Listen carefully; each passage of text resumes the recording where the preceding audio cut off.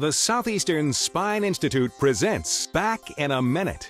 The Southeastern Spine Institute has long been a leader in helping people with back pain get back to a normal life by using the latest medical technologies, including the revolutionary XLIF.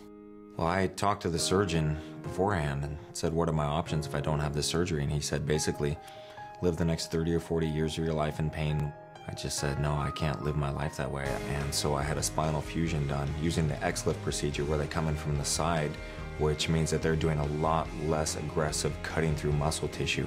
Such a relief to know that, you know, I can believe in my surgery, I can believe in my back. The medical technologies that you'll find at the Southeastern Spine Institute are second to none and may help you get back to a normal life. For more information on the XLIF, visit the web at southeasternspine.com or call 866 Spine 50 for an appointment.